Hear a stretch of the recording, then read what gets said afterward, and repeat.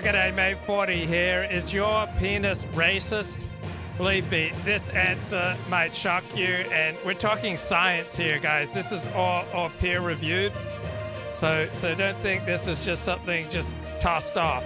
All right, this is peer reviewed, just like my first book, my magnum opus, A History of X 100 Years in Sex and Film, peer reviewed by Dr. Vern Bullough, historian and sexologist at the California State University at Northridge before Prometheus Books published it. Peer reviewed. All right. Now this work, I, I this is this is academic. This is scientific, and uh, I, I just got to assume that this is this is peer reviewed, so you know it's good. All right. New York Post article: Why your swipes on Hinge and OK Cupid might be racist. Probably didn't even realize that your penis is racist. There's a new book out. It's by academics. It's called The Dating Divide Race and Desire in the Era of Online Romance. And these three academics show how online dating sites exacerbate racial divisions. I, I thought online dating would bring people together. But no, race related preference filters on digital dating platforms help foster racist attitudes especially toward black women. Now, I, I read about the, the porn industry for over a decade, and uh, as part of my research, I realized that uh, many prostitutes in, in their ads say no black men. Like I call upon whoever's going to be the attorney general, Merrick Garland. Why uh, Merrick Garland right now is sitting before the United States Senate for a confirmation hearing but no one is asking him about the civil rights issue of our time. Why, why isn't Senator Ted Cruz, why aren't the Republicans bombarding Merrick Garland with this, this gaping civil rights wound in our nation's psyche that so many of the finest, hottest, uh, most exciting prostitutes say no black men?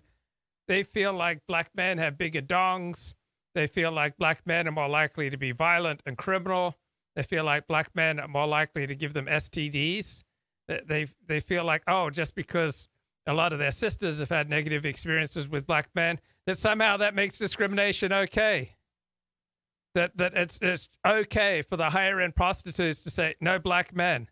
Like how is this acceptable? Where is our civil rights division of the Justice Department? Why is not anyone bringing this up to Merrick Garland? How can we have an attorney general who refuses to talk about the civil rights issue of our time.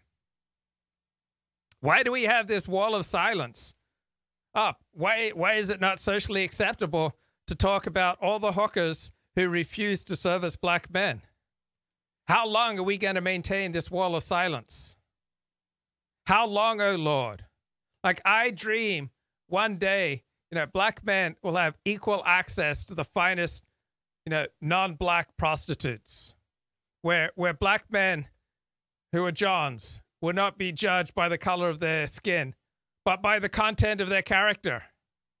Like just just because a black John has black skin, really, you're gonna say that oh he's more likely to have STDs. You're gonna say oh he's more likely to be be big down there and therefore he's gonna hurt me. Are you gonna really claim that he's more likely to be criminally inclined and violent? Right? Enough already. All right.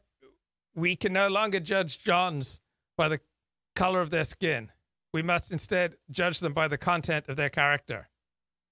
Like so many black men. You're wondering why they're violent? Well, they're violent because these uptight, you know, higher end escorts uh, of many different races just refuse to have sex with them. It, it's a Shonda. It, it's I mean, filtering out people based on race is a normal practice on dating apps, and I think it's time we made make it illegal because there are just way too many penises out there and way too many vaginas out there that are racist, and we've just been turning a blind eye. Like we just walk down the street and we pretend not to notice. You know, there's a black penis. You know, there's a, you know, there's a racist vagina. There's a racist penis. We just pretend not to notice you know, we pretend that it's okay to have racial preferences when it comes to love and sex and marriage and, dating. Racism, guys, it is literally built into the structure of these dating apps. Like in any other sphere of life, the idea of having racial preferences is completely unacceptable. It's illegal. Why is it legal to have racial preferences about where you put your penis? I don't get that. Why are people allowed to racially discriminate when it comes to their PP? Why, why are people allowed to racially discriminate when it comes to their vagina? Why is this okay? How is this not illegal? And and you know who's suffering? Black women. Black women have a much harder time matching on dating apps, as do black and Asian men. Most people apparently prefer to date within their own race. How is that acceptable? How is that even legal?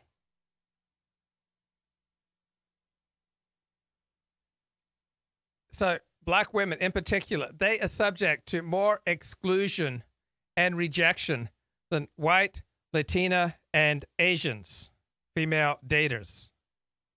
Black women are the most likely of all races of women to be excluded from searches.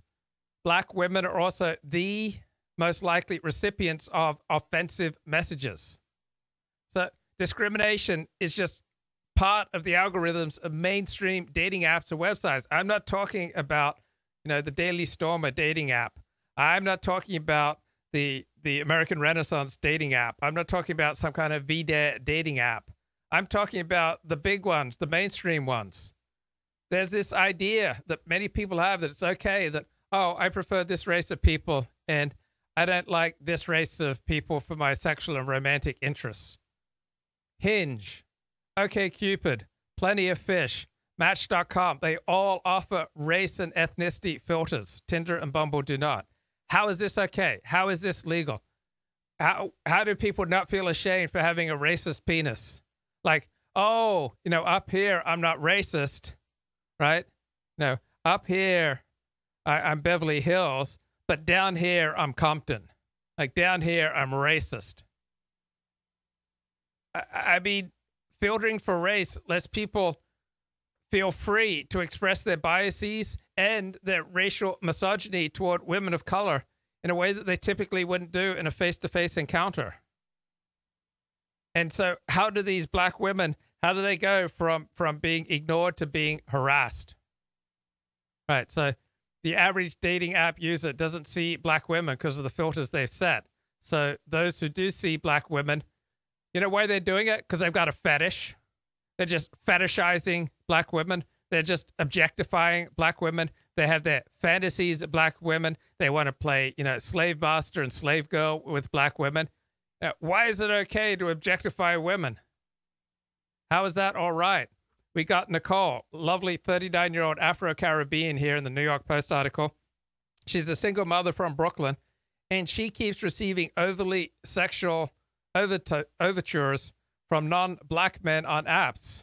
And this has become an unwelcome norm. Now, right off the bat, these guys are approaching her with, hey, sexy chocolate, or I love your beautiful black body. Can you twerk? Right? She's a registered nurse. How is this acceptable? Why is this okay? Nicole and other black daters, they routinely endure racist attitudes. I mean, these these women are trying to use these dating apps to find meaningful relationships and these men are just treating black women like sex objects. So, one, it's not okay to not treat women like black women like sex objects. And number two, it's not okay to treat black women like sex objects. So, you should neither treat black women as sex objects or refuse to consider them as sex objects. Both should be illegal. A lot of black women, they have to contend with all sorts of racist stereotypes such as, oh, she's black, so she must be a sexually insatiable uh, Jezebel. I mean, that that kind of stereotype has its roots in slavery. And then there's the stereotype of the angry black woman. Like there's this widespread belief that like black women are innately unruly and ill-tempered. I mean, we're talking here educated, refined black women who are thriving in their careers. They're looking for comparable partners but there's this complete disconnect between who they are in real life versus the Jezebel stereotype that they're subjected to online. There's Mish, a, a black executive assistant. Told the New York Post that her digital quest for companionship reaped, reaped a paltry handful of bad love connections. She's 53. Why should why should this 53 year old black woman secretary not be overwhelmed by dudes who, who want to date her? She's feeling very turned off by dating sites right now. They're making her feel uneasy. Like, I'm not being seen as the beautiful queen I am. That is a direct quote from this New York Post article. She recalls one relationship with a Hispanic man that quickly turned sour. When we first met, he made a point of telling me how much he loved black women, that he was sexually aggressive during their first in person meetup last year. So, sexual aggression is just really the same as racism because you've objectified people and you, you've, you've, you've, you don't understand their totality. You just want to get off, get up, get off, get in. No, get up, get in, get off. And and then when he finally engaged in consensual sex with her, he he ghosted her. Then she found out this guy, this bloke, he had a long sordid history of fetishizing black women for his personal pleasure, then dumping them once he'd had his fun. I, I know a bloke, a friend of a friend, he, he got divorced like successful Jewish guy in his 30s. He did nothing but date black women for a year. But date is, I'm using euphemisms here. He just plowed a furrow through 50 different black women in a year.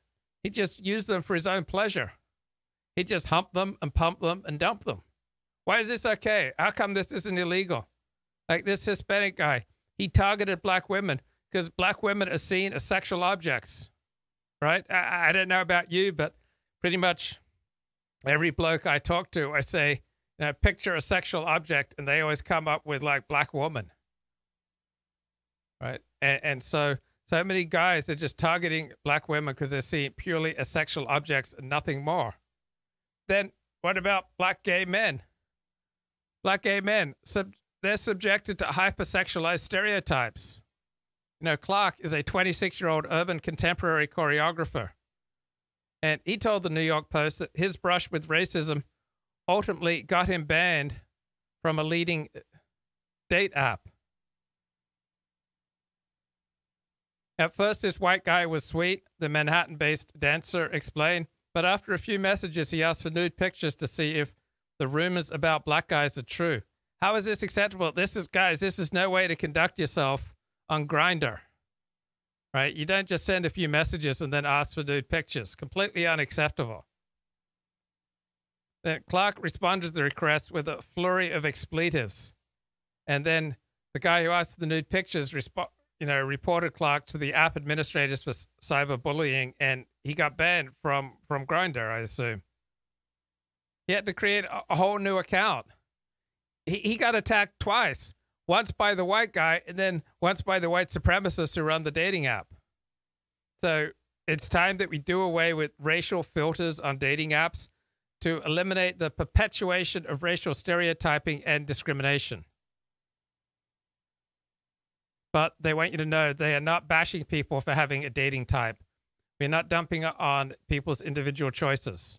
We just want everyone to be aware of the long-standing societal issues being exacerbated on these online dating platforms.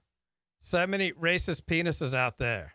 It's frightening. Only white, not only would be associated as white or would consider herself white, but is essentially white passing. So therefore, even if I was not hypothetically white, I could rake in the certain white privilege that, for example, or a, a black or Latino person couldn't this is what I've called the intersectional shakedown. Yeah. And the, the populations that are, maximally irritating to the uh, intersectional shakedown artists are the populations with recent claims to oppression that are nevertheless making it economically. Because really what it is is an attempt to take a real history of oppression mm-hmm. and to turn it into cash. Yes. Well, I tweeted literally today, moments before I um, came here, that the kind of idea of cultural pro- appropriation, that debate makes perfect sense in a, a culture where uh, identity is viewed as a form of capital because it becomes in a zero sum game. If somebody like uh, Rachel Dolezal, right, right. Uh, perpetuates this myth that she's a black woman, she is basically taking food out of the mouth, power out of the hands of an actually black woman. Right. So there's that absurdity, but then we actually have to contend with the weird aspect. For example, if you look at the exploitation of black musicians, mm-hmm. who very often, you know, at some point you had a lot of uh, illiterate um, genius musicians in the Delta who were mm-hmm. brilliant enough to produce great music, but weren't capable of defending themselves in a legal structure. Right. Exactly. And so you actually had cultural exploitation of one group by another through appropriation. So you'd get, you know, I think at some point I saw Otis Blackwell performing in New York City, mm-hmm. and you know, he had to say, "Look, I'm the guy behind Elvis Presley." Right. And the idea is that when Elvis sang it, it was acceptable to a market that he couldn't sell into. Uh-huh. So there is a real aspect to cultural appropriation and there's a totally fake aspect Yes, which is yeah. this sort of and they're coexisting and so it's very tempting for people like us just to point at the bullshit Yes. but there actually is this unfortunate reality that's braided with it Yeah, absolutely. No pun intended. Um, sorry. Oh, braid? Uh, braid, the, the box braid. Um, no, but it's it's uh, absolutely true. I mean, you can give the example of like Hesh in The Sopranos, right? We talked about The Sopranos at our power lunch. Um, who's a, this guy who's kind of this like kindly, sensible Jewish grandfather within a mafia context within a mafia context, is warm, so warm and loving and steadily. And this is a guy who has historically stiffed black musicians for royalties, right? And there's that famous reparations episode with uh, I think it was Bokeem Woodbine playing the the rapper Mini Gark guy. when there's a question about whether he's going to visit violence upon him but it turns out he's going to visit a lawsuit Yes, yeah, exactly. But then you have like these um, cultural examples of like you know like Katy Perry or uh, uh, Miley Cyrus wearing cornrows, like Kim Kardashian wearing cornrows in a um, Kardashian like beauty photo shoot, which I find completely preposterous. No one owns cornrows. i don't know enough about Well, nobody. female hairstyle There's no direct line of monetization, right? okay I don't see it that way, and so that.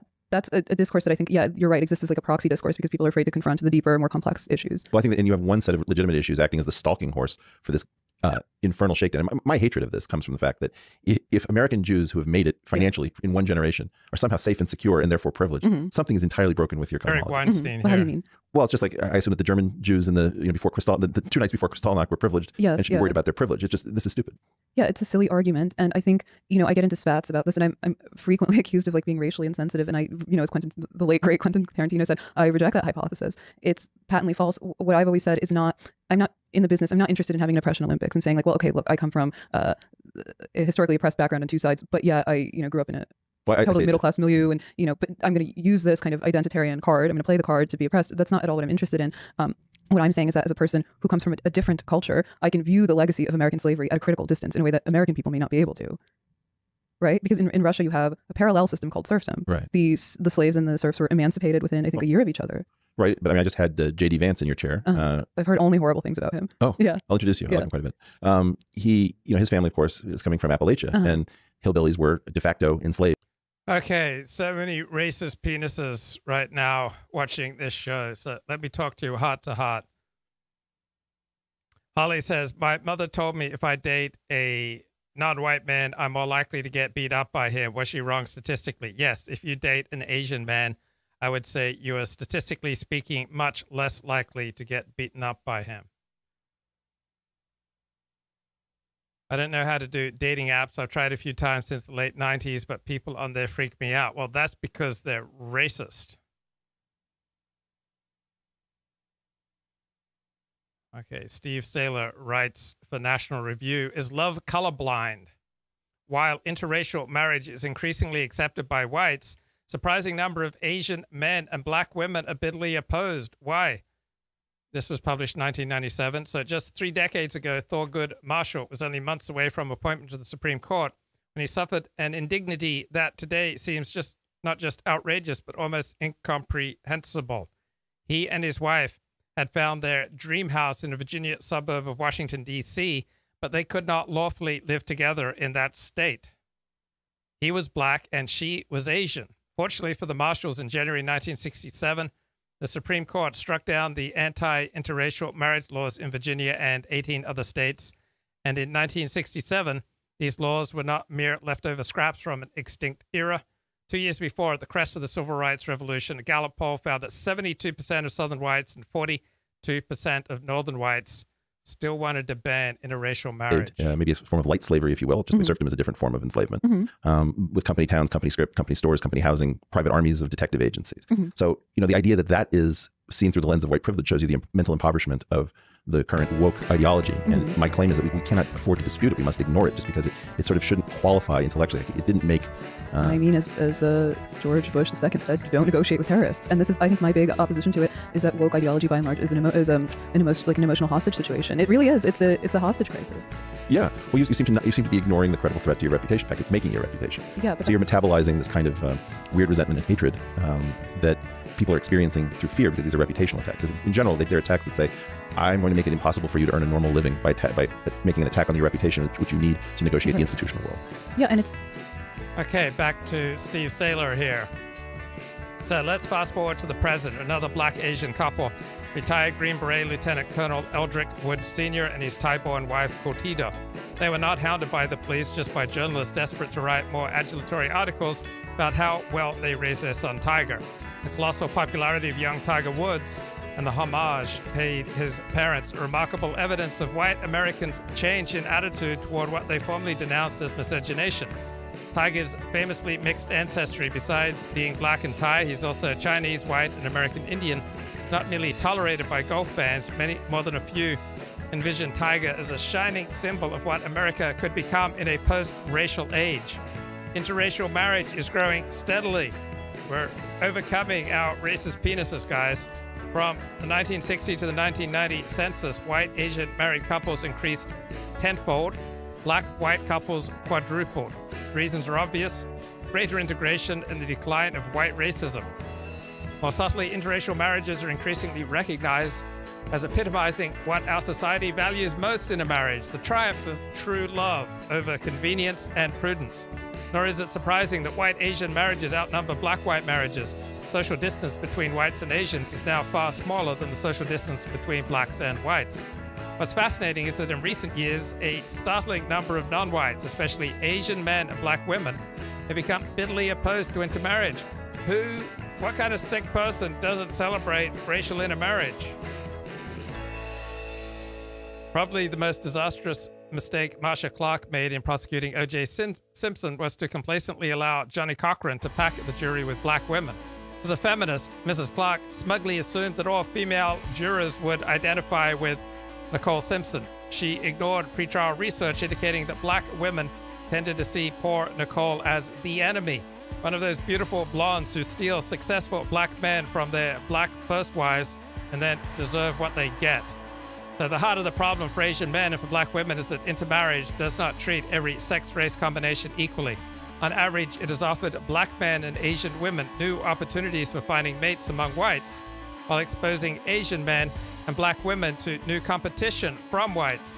The 1990 census, 72% of black white couples consist of a black husband and a white wife. In contrast, white Asian pairs showed the reverse 72% consisted of a white husband and an Asian wife. It's like, you know, it's Jordan Peterson famously said, like, I figured out a way to monetize the SJWs. And, you know, you could possibly say that about Red Scare, but that, it's not kind of. No, I think you guys are doing something much more bizarre. In it. Yeah, yeah, I agree. But it's not intended in that way. But that that was never the premise or the interest. It was kind of this earnest, it was truly kind of an earnest frustration with liberal mainstream feminism and liberalism. I don't even know whether it's liberalism. I mean, like everything's so watered down and, and metastatic and bizarre. Yeah. That it's the vague whiff of the left gone mad. Yeah. Right? Like it's not liberal. It's not progressive. We don't even know what it is. It just sort of technically yeah, resides to the left. conservative either, right? No. You can't rightfully call it that. Um, Self hatred is obviously a very large part of it. I think, I, yeah, self hatred. I mean, this is another kind of, you know, I repeat myself loudly and often. Um, Well done. according to the advice of my hero Quentin Crisp, who said that that was kind of the way to be make yourself memorable. And um, it the problem with the left, and I'm talking about kind of primarily the online left, is that these are people who are thoroughly infected with the virus of uh, the neoliberal ethos. They're completely they play completely within the terms of the system. And you know, it, this brings to bear a very important point that I also like to repeat loudly and often by the new left critic Christopher Lasch. Um, and I'm going to paraphrase it because I don't know it verbatim because my synapses have been uh, zapped by being too extremely online. You know, um, but he said like, hey, you know, all the kind of traditional uh, bedrocks, all the traditional values and institutions of liberal society So I was talking to my friend Yoshi Yobayashi, the stand-up comic, and he was raving about Anna Khachiyan. Uh, she does this podcast called uh, Red Scare. So she's the she's one of two women on this podcast. She's uh, half Jewish, half Armenian, and uh, he's been listening to all of her podcasts. Okay, let's get back to Steve Sailer here, writing an essay: "Is Love Colorblind?" Part of the problem for Asian men and black women is that intermarriage does not treat every sexual racial combination equally. On average, it has offered black men and Asian women new opportunities for finding mates, while exposing Asian men and black women to new competition from whites. Sexual relations outside of marriage, less fettered by issues of family approval and long term practicality, they appear to be even more skewed. 1992 Sex in America study found that 10 times more single white women than single white men reported that their most recent sex partner was black. Wow. 10 times more single white women than single white men reported that their most recent sex partner was black. Few whites comprehend the growing impact on minorities of these interracial husband wife disparities. One reason is that the effect on whites has been balanced. Although white women hunting for husbands suffer more competition from Asian women, they also enjoy increased access to black men. The weight of numbers dilutes the effect on whites. In 1990, 1.46 million Asian women were married, compared to only 1.26 million Asian men. The net drain of 0.20, so 200,000 white husbands into marriages to Asian women, is too small to be noticed by the 75 million white women, except in Los Angeles and a few other cities with large Asian populations and high rates of intermarriage. Yet this 200,000 shortage of Asian wives leaves a high proportion of frustrated Asian bachelors in its wake.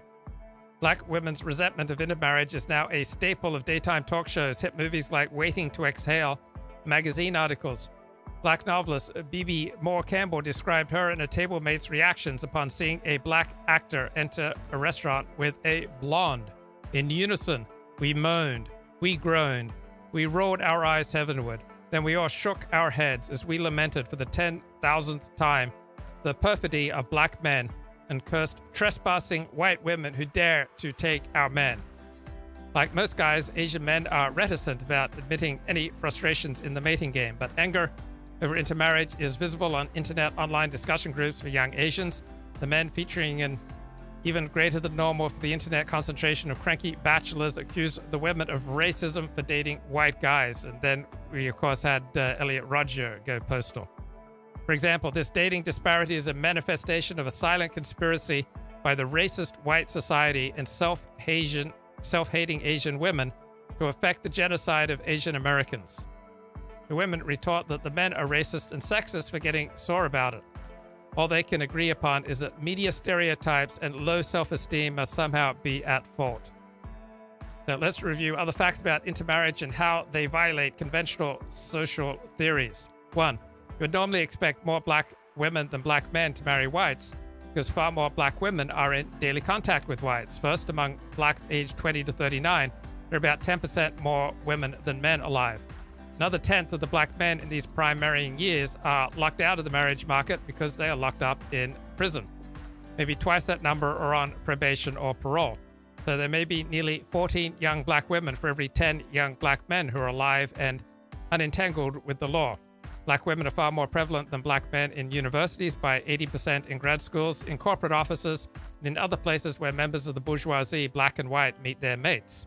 Now, despite all these opportunities to meet white men, many middle class black women have trouble landing satisfactory husbands.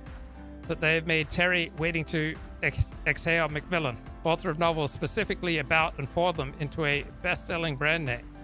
Probably the most popular romance advice uh, regularly offered to affluent black women of a certain age is to find true love in the brawny arms of a younger black man both Miss McMillan's 1996 bestseller, How Stella Got Her Groove Back, and the most celebrated of all books by black women, Zora Neale Hurston's 1937 classic, Their Eyes Were Watching God, are romance novels about well to do older women and somewhat dangerous young men. As Miss Hurston herself learned at age 49 when she briefly married a 23 year old gym coach that seldom works out in real life.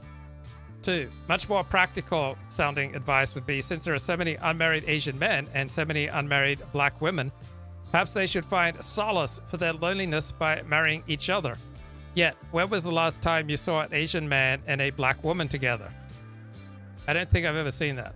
Black man Asian woman couples are quite unusual, but Asian man black woman pairings are incomparably more rare. And we got similar patterns appearing in other contexts. Within races, blacks tend to most ardently pursue lighter skinned, longer haired black women. For example, Spike Lee's School Daze, yet black women today do not generally prefer fairer men. In Britain, 40% of black men are married to or living with a white woman, versus only 21% of black women married to or living with a white man. Then in art, we have Madame Butterfly, a white man Asian woman tragedy, it's been packing them in for a century recently under the name Miss Saigon. The greatest black man, white woman story, Othello, has been an endless hit in both Shakespeare and Verdi's versions. So theater always repeats itself first as tragedy, then as opera, and finally as farce, as seen in that recent smash, O.J. the Moor of Brentwood. Maybe Shakespeare did know a thing or two about humanity. America's leading portrayer of Othello James Earl Jones has twice fallen in love with and married the white actress playing opposite him as Desdemona. Um, we're talking about monogamy, marriage, uh, the gender binary, um, any number of other kind of traditional values have already been, been dealt a serious blow by advanced capitalism itself, long before the social justice activists got their hands on them, before they mounted a fight against them. And that's a very important point to remember. So the way I see it, and, and you'll let me know if this dovetails or in fact conflicts or maybe just mm-hmm. total miss, is that the family and the religion mm-hmm. or culture mm-hmm. provide many of the same things that the market provides, like let's say an insurance policy. Mm-hmm. Right. So for example, um, if you're trying to smooth your income stream over a lifetime and you have recessions, a family might take in some members who are out of work and right. put them to work in portions of the family business that are still functioning or work inside the home mm-hmm. um, in a way that sort of socializes some of the risk. And at the same time, you might buy some kind of a, a policy to try to smooth things out, you know, or, you, will you'll, you'll try to save uh, in an institutional context. As these things conflict, um, the market has denatured some of these older structures. When people talk about American families are weak, mm-hmm. what they usually mean is, is that American markets have been regular and strong enough mm-hmm. that people have leaned less on the mm-hmm. pathologies of their mishpucha uh, mm-hmm. in order to try to get cleaner expressions within the market for, mm-hmm. for their various needs. Like instead of having you know a mother uh, come and be with a child when a new baby is born. laundry. What? yeah, yeah, laundry, yeah, that you hire somebody to do it. Mm-hmm. And the idea is that the market is working in some sense, yeah. the family starts to fall apart because you don't need it. Right, exactly. Yeah. And you know, people are smart. They know that like seven, eight years of psychoanalysis is a very tall price to pay for having your mother come every week and do your laundry. And they'd rather be, yeah. Um, and there's this, you know, whole uh, rhetoric now about a work-life balance, whatever. And I think that the, the, the, market, part of the kind of psycho, let's say, like the psychological anima of the market is that it provides people, yeah, with a, a scaffolding and, and, infrastructure through which to relieve themselves of their family. Right. So one of the um, one of the things that's interesting to me is, is that you're coming from a background which is very familiar to me, where you have a Jewish Armenian uh, parentage, and your father was a famous mathematician working in linear programming, mm-hmm. sort of optimization mm-hmm. science, and came up with um, this amazing algorithm that changed our picture for how things could be optimized using smaller and smaller ellipsoids. Right. And your mom, how did she figure into the story? Um, I, I my my dad, uh, his whole kind of uh, level of achievement is way over my head, obviously. Um, but uh, my my mom and my dad, I mean, they met when they were very young. They got married quite a bit later. My mom, I think, uh, would probably be very irate and disappointed if I described her like this because you know she's going to listen to this. Um, she is an artist, but I, who became a housewife basically. Okay. And I think that she is the great genius of the family. She's the, the great kind of organizing and destructive force in my family. What's interesting, very often, um, in the, so I have to say that when we had this lunch, which you're describing as a power lunch, yeah, I drunk no alcohol, drank, yeah. not positive that it qualified. Well, I mean, are you supposed to drink? I don't really know. It'll okay. be my first power lunch. Oh right, I have to. It's just you know a stupid uh, girl bossy hyperbolic term. I have I to. I have to drink. Okay, well, very and good. smoke at all lunches. I didn't smoke. You didn't smoke, but I'm such a neurotic. I'm so shy. I was telling you that I can't. You know, I have to constantly occupy. Uh, Is that because you're reveling in your neuroticism? No, no, no. I'm not like a Woody Allen person. I don't okay. get off on it. Okay, sure. It's something that I hope to, to shed with a. Okay. Uh, the kind of accumulation of experience, like habituation. Okay. Yeah, that's not something I think you should look up to in yourself. I don't know. Um, but yeah, I think that uh, my mom is kind of like a bizarre, freewheeling artistic genius, um, a true eccentric, and I think that I derive a lot of my personality and my tendency toward critique from her. I mean, she's always spinning paranoid polemics about the world. It's really quite impressive, and she's right most of the time. I think it's very strange that, I mean, this really actually echoes your earlier point that we tend to see accomplishment only if it shows up in the workplace. Mm-hmm. And for a lot of us coming from kind of ethnic families, for lack of a better word, very often people who were inside the home were well known to be the local genius, mm-hmm. the eccentric of the life, or the whatever. Mm-hmm. It was not clear in any way that uh, if you were the schmata salesman, that that was really the higher expression mm-hmm. of the two people in a marriage. Mm-hmm. And it happens that your father did something very creative yes. in a very analytic context. Yeah, yeah. It's hardly surprising. Like, there's nothing at all surprising to me that your mom might mostly be at home with the family and be the major force of the family. Yeah, and I think like you know my, my dad probably gets all the credit for um be, for, uh, being kind of the genius. Um, my haters like to point out that I'm coasting off of my father's accomplishments, which is not true because I'm actually way more famous than him on Reddit. So there. Yeah, there you go. Um, he would be so. Uh, I I'm here to disgrace my family name. Um, but basically, I, I think that it's a very interesting this this kind of old breakdown of my parents' marriage is a very instructive example of the way that women wield unofficial power through the domestic sphere. Again, it's like unofficial. Like, the language is even wrong to me. It's like, in what world do we not I guess the idea is that it's official if it shows up in Wikipedia and it's unofficial if it only shows up in family lore. I think it's official if you're getting officially compensated for it, right? Well, this yeah. is the issue of kin work that I would yeah. bring up, which is that I think that a lot of the um, wage gap work is extremely weak. And I want you to know this this show has facilitated race mixing. Viewers of this show of different racial backgrounds have gotten together and gotten to know each other in, in a very intense, explicit, and intimate way. So I, I'm helping bring the world together through radical, radical love and inclusion. And you're welcome. You're absolutely welcome. And I got more funky music. Yeah, yeah. Get down, white boy. Get down, white boy. Everybody together now. All right, let's have a look at the chat. Showing off my great Seventh day Adventist dancing there. Uh, Holly the lawyer says Marcia Clark screwed up that OJ case at the picking of the jury.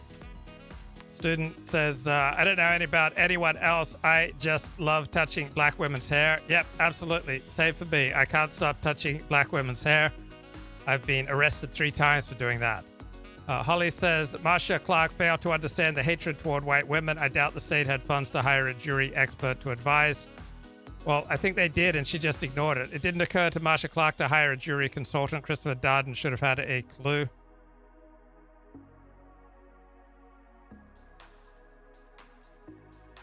Grant says, I used to have a naked Asian dancer desktop plugin, but I think it was a Trojan. Can't even imagine the viral load that I got. Yeah, good Apricot Sky soundtracks. Which which is the shoegazy song?